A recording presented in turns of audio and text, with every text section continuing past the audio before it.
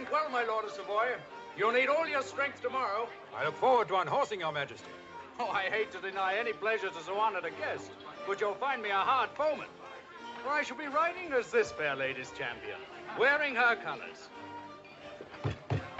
My lords and ladies, I hereby proclaim the Lady Diane Queen of the Lists.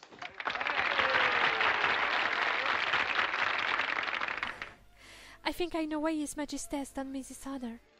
He knows that Her Majesty would prefer to choose a champion from among her own countrymen. Will your majesty permit me to wear her colors? Most gladly, my lord Ridolfi. They are red and gold. The sunrise and the sun. And what are your colors, my lady?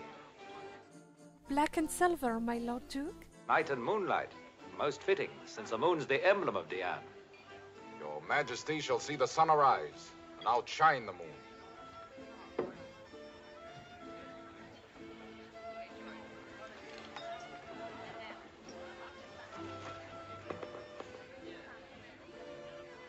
No. Take it away. What foolish fancy is this, madam? I have heard it foretold that the wild boy is an omen of danger to your majesty. One of your foolish astrologers told you that, I'll be bound. They're always wise after the event.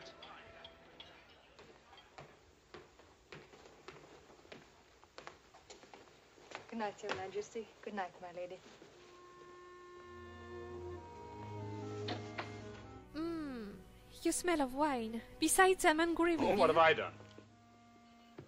You declared me queen of the list. It was a relenting insult to Catherine and to myself. The more you humiliate her publicly, the more you barrentingly proclaim me your harlot. Diane. How you men are easily shot. You enjoy forbidden fruits, but blush to hear the name. Why do you always champion Catherine?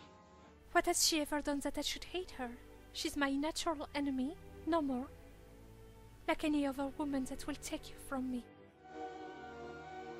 And you still love me, Diane.